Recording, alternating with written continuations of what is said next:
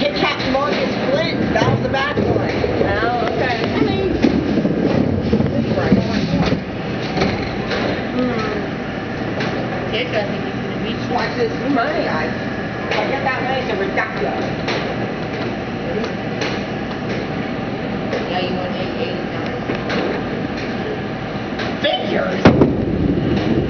Looking good. Now over.